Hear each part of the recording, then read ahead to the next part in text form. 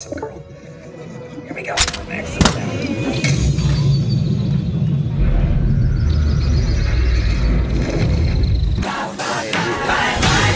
Peanut. Guess we're getting that team up after all.